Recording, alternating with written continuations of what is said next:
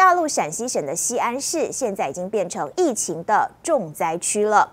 陕西二十二号到二十三号的一点钟，新增了本土确诊病例九十一例。其中在西安市的部分就占了八十四例。好，从九日以来呢，当地已经累计了本土病例两百三十四例了。疫情现在已经蔓延到四省六地。西安市二十三号开始要实施社区封闭管理，市民足不出户，每户家庭隔日有一个人外出采购生活物资。消息宣布之后，从二十二号晚间开始就出现大量的市民涌入附近的超市，要来抢购生活用品。超市里挤满抢购物资的人潮，菜架上的青菜、水果均被抢购一空。大陆近日本土疫情再起，陕西西安更在两周内累计多达两百七十个案例。对此，当地单位宣布，二十三日起将对全市九十个区域进行封闭管理。五点半开始都封抢菜，不是光抢肉，你是里面又都抢。而在消息一出，许多刚下班的民众也趁着封城前的几个小时，纷纷涌进超市。而在西安宣布午夜封城后，有网友拍下大批穿着防护衣的防护人员，整齐划一，犹如部队一般，在西安街头集结。深夜时分，如此景象增添了肃杀紧张氛围。不过，据上海东方报道，西安市其实不是全面封城，而是针对重点区域进行管理。西安市呢，已经对这个整个的呃全市进行了这个明确的等级的划分，它分为封。风控区。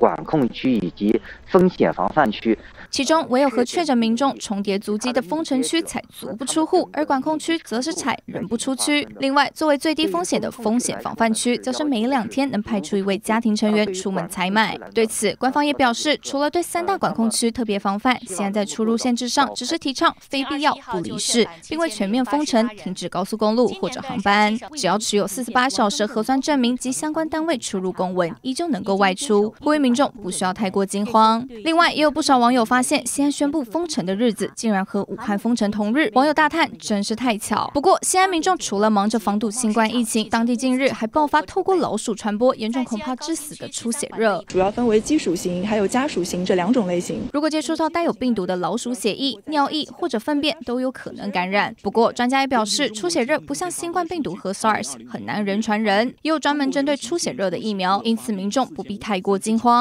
记者谢海宇报道。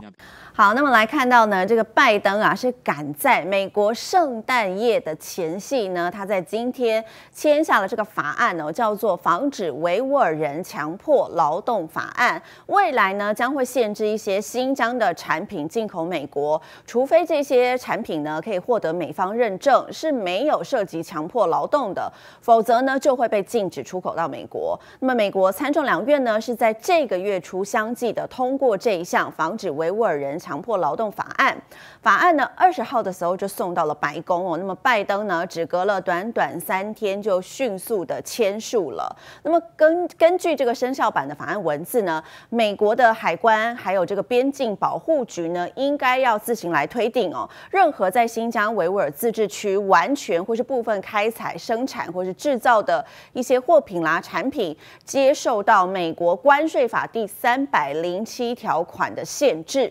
这个呃，美国关税法第三百零七条款规定哦，禁止进口在他国完全或是部分使用强迫劳动生产的产品。好，不过呢，如果某一项产品有获得美国海关认定是没有涉及到强迫劳动的话，不论是依据这个进口商提供的资讯啦，或是有这个清楚可以令人信服的证据，就可以获得进口限制的豁免。讲到这个大陆呢，美中之间呢，另外还有另外一大话题，就是前一阵子这个美方呢是寄出了外交抵制，抵制这个北京冬奥。对此呢，俄罗斯总统普京就讲话了，他说呢，美国跟美国的盟友在抑制大陆发展的欲望驱使下，对即将举行的北京冬季奥运呢寄出外交抵制这件事情，他认为是一大错误。普京呢在这个年度记者会上表示哦。华府呢，把政治卷入体育当中，将无法阻止大陆成为国际间的竞争者。另外，针对这个俄乌问题呢，今天普京也表示了，他说俄罗斯希望避免跟乌克兰还有西方国家爆发冲突。他说这不是我们偏好的选择，我们也不希望如此。普京强调呢，俄罗斯这个月交给美国的这个安全安全建议有已经获得大致正面的回应了。相关的谈判呢，二零二二年初将会在日内瓦开呃展。开，一起来听普京今天的最新谈话。 В этой связи хотел бы подчеркнуть, что в целом мы видим пока положительную реакцию. Значит, и американские партнеры нам говорят о том, что они готовы к началу этой дискуссии, этих переговоров в самом начале года в Женеве. Представители с обеих сторон назначены. Надеюсь, что развитие ситуации пойдет именно по этому пути. 接下来关注到全球的疫情哦，因为前几天呢，美国有一间这个叫做皇家加勒比的游轮公司，他们旗下有一艘号称这个全球最大游轮，叫做海洋交响号。当时就传出船上呢至少有四十八人确诊了。在今天，同一间游轮公司又爆出疫情，另外一艘船，所以总计呢不到一个星期，有两艘船爆发疫情了。在这艘船上呢，乘客加上船员，目前至少有五十五个人。确诊，而且因为他们全部都已经接种完疫苗，所以呢，其实都可以算是突破性的感染。那么对此呢，CNN 有最新报道，一起来听。Fifty-five crew members and passengers contracted COVID on board. All of them were fully vaccinated. Crew and the passengers will be allowed back on land only in the United States. both ships are hurrying their way back towards the United States. 讲到这疫苗呢，白宫发言人沙奇就表示说，白宫现在是很感激前总统川普，为什么呢？因为他最近是施打了疫苗的第三剂，也就是加强针哦。而且川普甚至公开宣传大家应该要来接种疫苗，公开称赞疫苗和过去川普的态度呢相当相当的不同。路透社就报道说呢，川普最近受访的时候表示哦，他自己自曝我已经打过追加剂了，还形容呢这个新冠疫苗是人类。最伟大的成就之一，川普甚至表示呢，一些这个病情比较严重啦，或是有去医院接受治疗啦，就是那些没有打疫苗的人。所以呢，如果你打了疫苗的话，就会有保护力，这是川普的说法。因此呢，沙奇今天就告诉这个白宫的记者说，我们很感激前总统川普接种了加强针，也很感激他最近在受访的时候清楚表示疫苗是安全有效的。